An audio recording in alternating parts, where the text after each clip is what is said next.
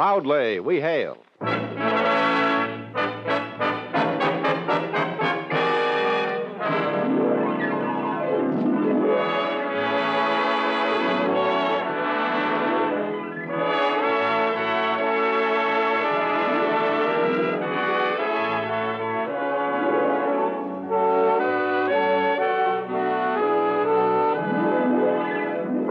York City, where the American stage begins, here is another program with a cast of outstanding players. Public service time has been made available by this station to bring you this story as proudly we hail the United States Army.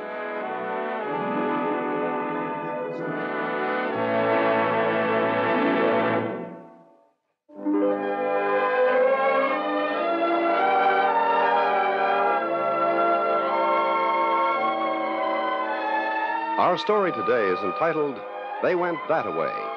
This is the story of five saboteurs on the loose in western Germany and only 15 miles to a border where they would find safety. Our first act curtain will rise in just a moment, but first, Attention high school graduates. Get on the Freedom Team today by volunteering for enlistment in the United States Army. You can help America save the peace and save freedom too by enlisting today. Full details at your nearest United States Army recruiting station. And now your United States Army presents the Proudly We Hail production, They Went That Away.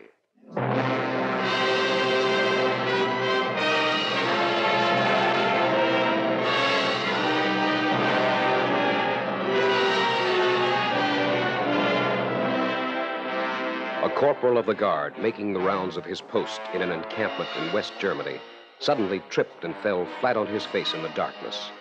What made him gasp in horror as he sprawled to the ground was the instant realization that his foot had struck an object, a human body, the prone figure of a soldier, a soldier who was bound and gagged. Sergeant of the Guard, post number three. Post number three was a small building. It had a thick wooden door reinforced by iron plates. Its one tiny window was laced with steel bars. It was used as a temporary place of detention. It had housed five men who had been captured trying to sabotage the installation. They were being held there, awaiting interrogation. Now they were gone.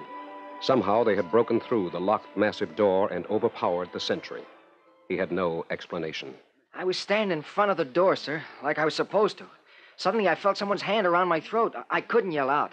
I tried to squeeze the trigger on my M1, but it was knocked out of my hand. Someone tackled me, and I was down on the ground. Before I knew it, I had that gag around my mouth, and I was being tied up. All five of them jumped me, sir. Did you notice anyone at all on your post? Anyone who might have been able to get that door open for them? No, sir, like I said, sir, it happened all of a sudden. And I was just jumped, that's all. All right, Jones. I guess that is all. Five saboteurs on the loose, and only 15 miles to the border where they would find safety. To travel those 15 miles, they would have to pass alerted units of soldiers plus civilian authorities. One thing operated in our favor.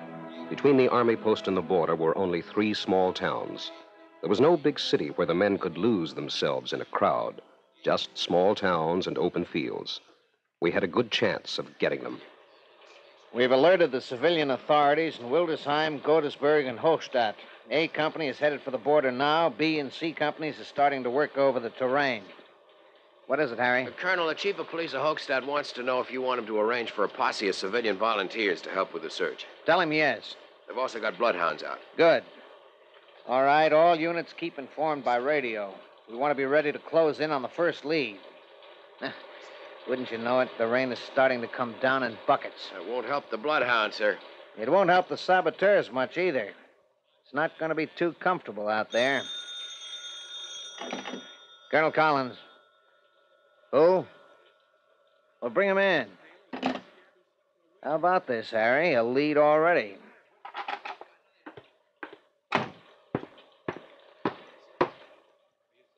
Well, Sergeant, if you are a sergeant, what are you doing in this area? Well, sir, I didn't know this was a uh, restricted area. It isn't. I don't recognize you. You're not in my unit, are you? Uh, no, sir. I'm um, I'm Sergeant Arthur Thomas, A Company, Fourth Signal. They're in Frankfurt, aren't they?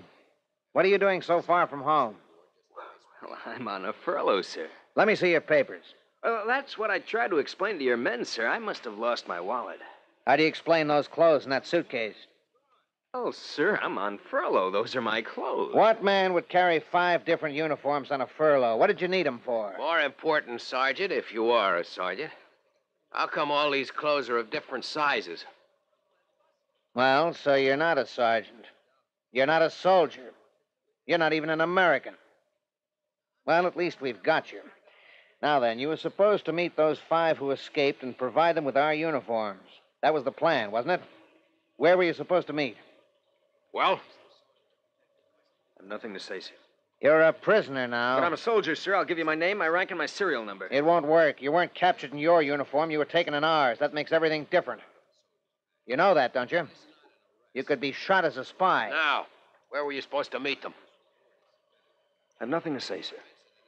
Take a half hour or so and think about it. Lieutenant Dale, keep two men on him and watch every move he makes. That's all.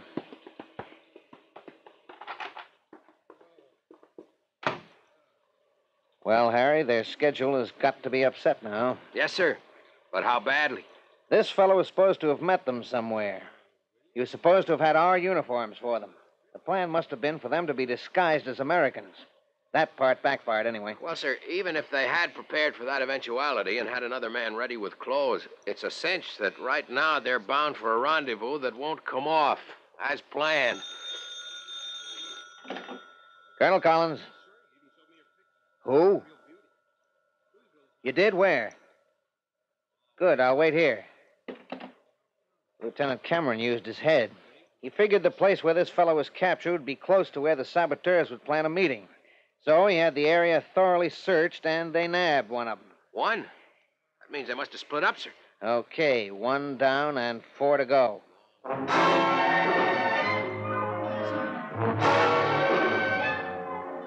The fugitives didn't split up, however. The man who was captured had lost the others in the rain and the darkness. His companions were still making their way toward the border. But they were too clever to attempt a direct route. They were cutting southward and then westerly, toward the general direction of the place from which they had escaped. They were armed, they were dangerous. They were men who knew they had very little to lose. They were soldiers under discipline, still obligated to carry out a mission. How did you break out of the room? Looks like we can't get a thing out of him, sir. Where are your friends? Yeah, hold it a second. This is Colonel Collins. Bring in the other one. How were you able to open the lock? Oh, thank you, Lieutenant. Now then, uh, this man in our uniform, do you know him? Close mouth group we have here. Well, soldier, it's lucky for you you missed him. Because if you were captured in our uniform the way he was, it'd be just too bad for you, as it's going to be for him. Take a soldier outside, Lieutenant. We'll talk to the sergeant. Tell me, how is it in your army when a man is caught the way we caught you, huh? What do you people do to a man when you want the same kind of information we want from you? All right. If I don't talk, I'll be shot. If I'm lucky. You'll be lucky. If I do talk, then what? You're just an ordinary prisoner of war. Yeah, how do I know? How can I be sure you'll keep your word? You'll have to trust us. All right, I trust you. Could I have a drink of water? Give him some from the cooler, Harry. It's been a long night for me. Here you are. Thank you. Hey, hey, what's he putting in his mouth? Stop him! Stop- I was too late. He swallowed it. Oh, some pill to be used as a last resort. Uh, Colonel Collins. Oh, of course. It's General Bailey.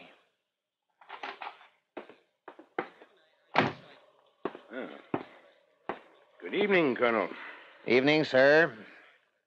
Who's that man on the floor? you, uh, you can get up, Sergeant. Thank you, sir. Well, what were you doing on the floor, Sergeant? Were you ill?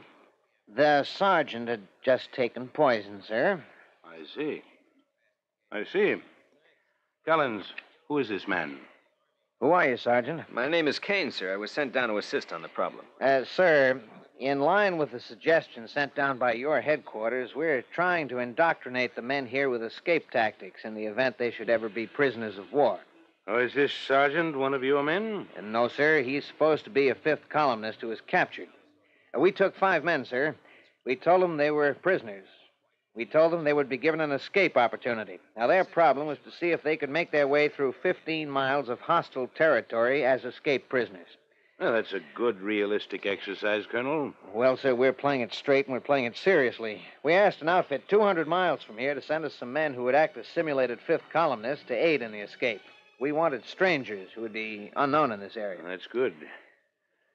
Now then, we are presenting these men with the same problems they would encounter if they were actual prisoners of the enemy. Yes, sir, uh, with this exception, naturally, that they can't use any real rough stuff to make good their escape.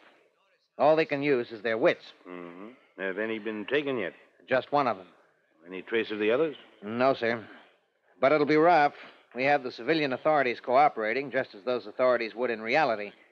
Civilians are asked to report any suspicious looking strangers. Sir, we even have Boy Scouts out in the fields.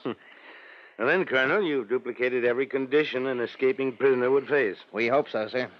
It's a two sided maneuver. On one level, we learn how to go after escapees, and on the other, and more important, our men learn how to escape. Well, I think we can learn something from this, Colonel. I'd like to sit in and watch what happens. Colonel Collins. Where? Good. We'll all move out there. A woman living on a farm just outside of Hildesheim reports four men walking along the road toward town. We've thrown a cordon around the place. I think we've got them sacked up. Well, I hope not, Colonel.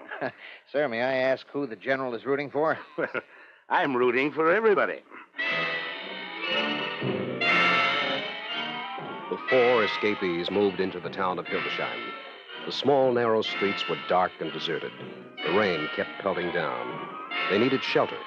In a little while, they knew they would need food.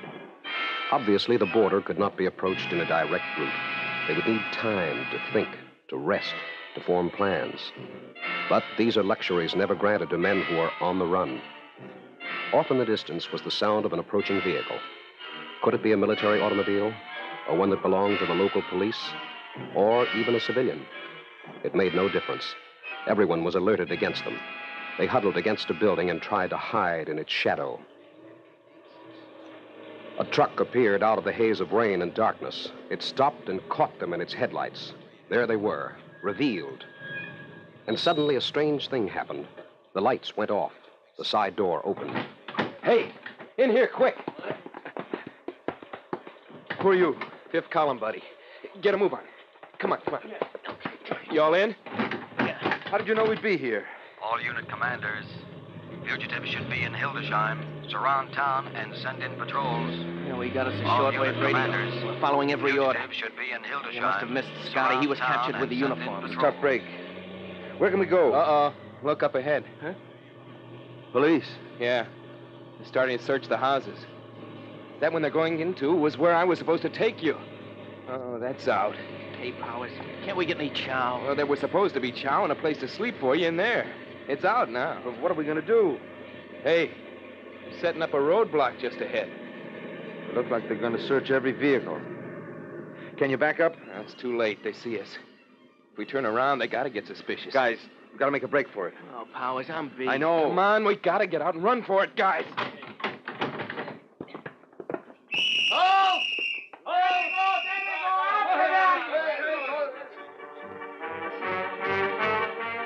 The men scattered. They ran down unfamiliar alleys and strange streets looking for a hiding place. Doors were locked. There were no hiding places. Squads of police and soldiers ran down the streets in pursuit. Civilians added their assistance to the hunters. Up the street! One of them went this way. I saw one! He's hiding in back of that building. One by one, they were captured and brought to the colonel. Tired, hungry, dispirited. Well, is this all of them, Colonel? No, sir. One is still at large. I guess that would be Corporal Powers. Good man. We'll have him soon. Well, you've searched the town inside out, Colonel.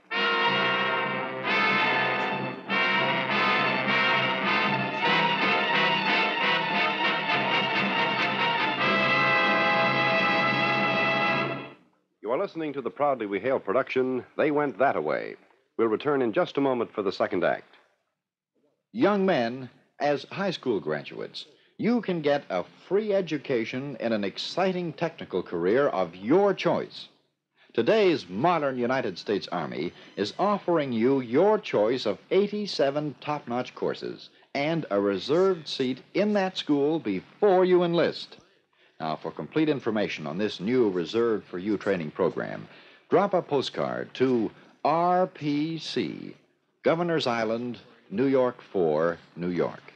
And we'll be very glad to send you in the mail, no obligation, our little booklet called Reserved for You, which will give you the complete details about the new Reserved for You training program. And, of course, if you happen to be close by a recruiting station, drop in and see the friendly people down there. They'll give you an application blank. You are listening to Proudly We Hail. And now we present the second act of They Went That Away.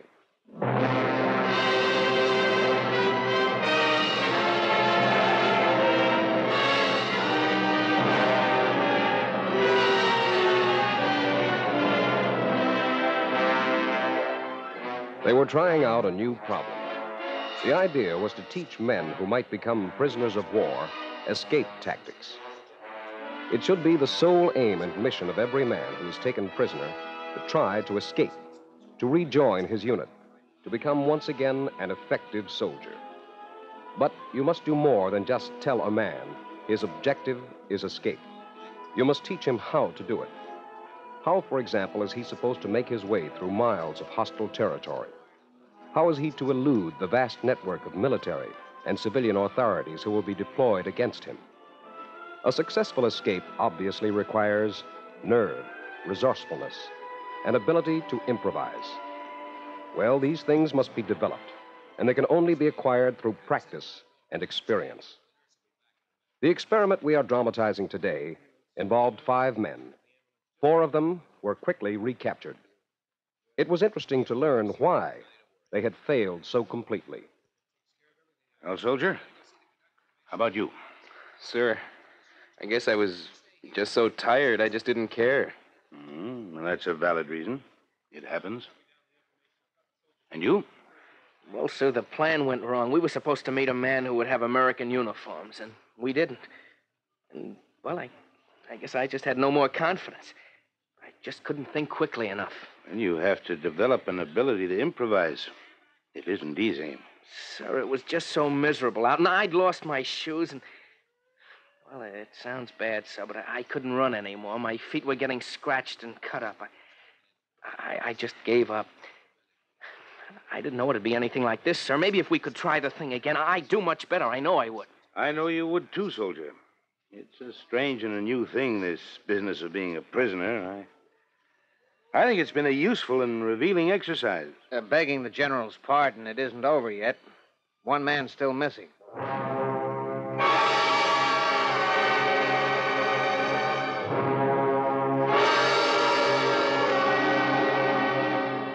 They were only looking for one man now, a corporal named Powers. And in a sense, Powers had already scored a moral victory. Even if he were captured before he made it, he would have accomplished something. He would have forced the enemy to waste valuable time and manpower to hunt him down. Soldiers, civilians, and policemen would have to be diverted from other important work and spend uncomfortable hours searching for him. Powers had no more experience than his four companions. His IQ was no higher, his stamina was no greater. When the carefully laid escape plan went wrong, the other four were quickly rounded up. Yet Powers was still at large. You might ask yourself, why? Maybe Powers was the first to realize the basic importance of this new thing they were trying to learn. Or maybe Powers was just blessed with the ability to give it that extra ounce of effort that makes the difference. Powers also ran down the street and around the back of a house. Powers saw a basement window that was open. Powers took a chance and went in. He found himself in a dark cellar. So far, his entry had been unnoticed. So far, so good. But for how long? Where was he? He didn't know. How long could he remain here without being discovered? He didn't know that either. But right now, at this instant, he had an indefinite space of time to catch his breath, to relax, to collect his wits. But he knew he was like the fox who had temporarily eluded the hounds. He would have to make his move. But where? How? He had a small fragment of a chocolate bar in his pocket. He sat down and chewed on it. He had a pack of cigarettes, and nothing in the world would have been as good as a smoke right then. But he didn't dare to light one. He saw a door across the room. He walked over to it.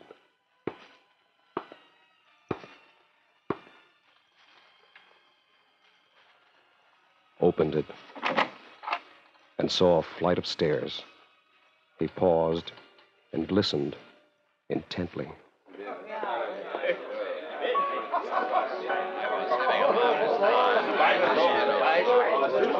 Upstairs, a party was in progress. It was a gay celebration, so no one heard him moving about the basement.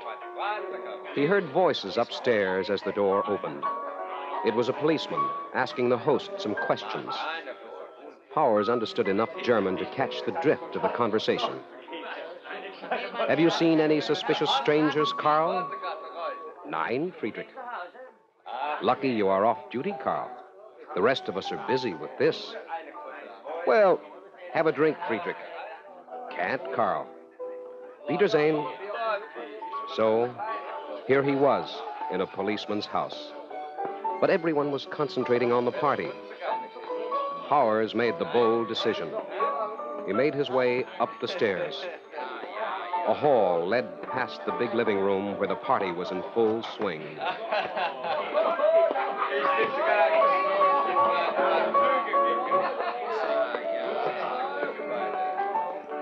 If only he could find his way to the hall closet without being seen.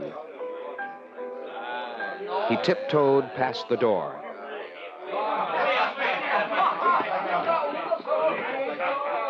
Past the gaiety. And there, there was the closet by the front door. He opened the closet, and there was what he was looking for a German policeman's coat and a helmet. He slipped on the long coat, which dropped low beneath his knees, and put on the stiff policeman's helmet. Now, he walked out the front door and walked down the street. Now, his problem was to avoid civilian cops who could recognize him. But he was halfway home. He could certainly fool any American soldier. He saw two of them in a jeep. He called to them, assuming a slight accent. Soldiers, I saw him run into that basement. Let's go. Powers jumped into the Jeep and raced the motor. Now at least he had wheels. This Jeep was the roadblock. He had made it now, maybe. At least he could get out of town. And there was a uniform change for him in the Jeep, too. The rain had stopped now, and one of the soldiers had left his raincoat and steel helmet in the back seat. He had just a little bit of time before they would know he had fooled them. He was on the road now, away from town, heading for the border. Up ahead, he saw lights approaching. They were probably looking for a man in a cop's uniform driving a stolen Jeep. He threw off the German policeman's coat and grabbed the soldier's raincoat and helmet and drove the Jeep off the side of the road. He jumped out and headed across the fields. In the distance, he heard the baying of hounds. These were civilians. Well, maybe he could handle them in his soldier's raincoat and helmet. Hey! Who is? Hey, I'm lost. A soldier? Yeah, I lost my outfit. I'm supposed to be at the border. Yeah, one may get lost on a night like this. Well, how do I get back? Straight along this road. Some of you go with him. The escaped man could just as easily be headed that way.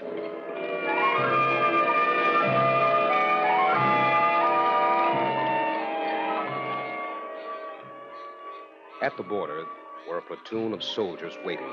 His helmet and raincoat could fool civilians, but not them. They would wonder why he had no weapon, start asking questions, and then that would be it. Just past them stood a man with a white armband, the umpire. If he could reach the umpire. Hey, Lieutenant, that guy. Guy's running past those trees. Where? Get him!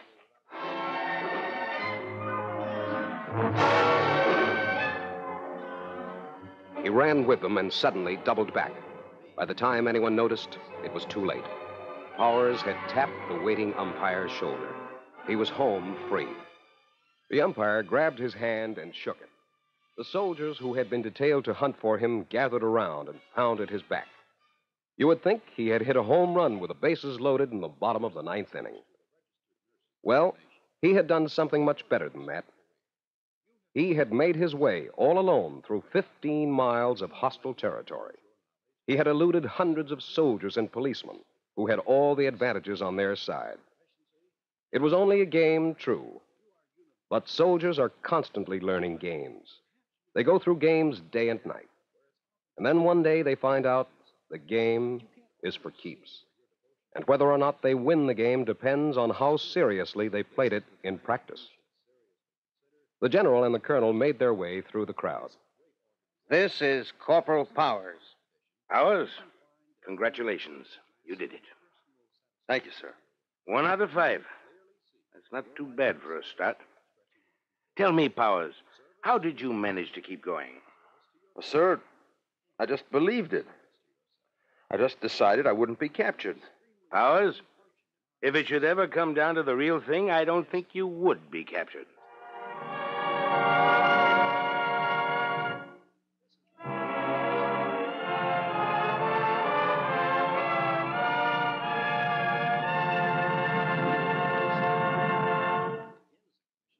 Young man, be honest with yourself. Have you reached a standstill in life? Is each day just like any other? Are you worried about your future? And most important of all, are you feeling dissatisfied with yourself and your personal development? Well, if this description or any part of it fits you, it's just about time you investigated the opportunities waiting for you when you enlist in the United States Army. Every man in the Army has a skill, and more often than not, the Army taught him that skill in one of its fine schools. The Army offers an interesting present and a secure future, with plenty of promotions along the way. And above all, the Army molds you into a man, a man whose family, friends, and country are proud of him. If you think you can measure up, stop in at your nearest recruiting office and see if you can qualify to wear the mark of a man, the uniform of your United States Army.